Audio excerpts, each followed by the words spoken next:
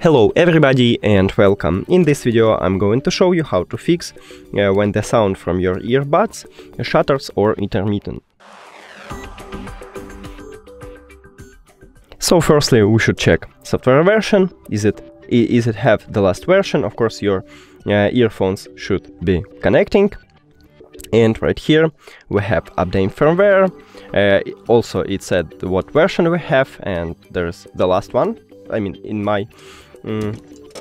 But you can also click right here. You don't want to connecting, but you can click right here at this arrow and it will set the same that you have or the last version or you haven't it. If you haven't it, just update it. Also, uh, go to the settings and check is your phone is have the last version. If you haven't it, like me, just update it. And that's it. Thank you for watching this video. If you found it helpful, please consider subscribing to the channel and leave the like on the video. It's really important to us. See you later!